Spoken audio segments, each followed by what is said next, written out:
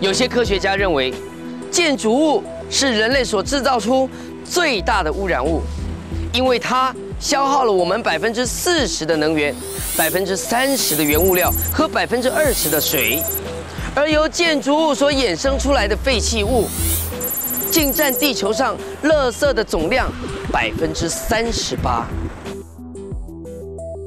建筑物在台湾。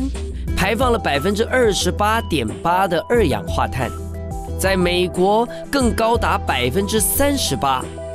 要用什么方法才可能解决这个问题呢？台南成功大学的绿色魔法学校或许找到了一个答案。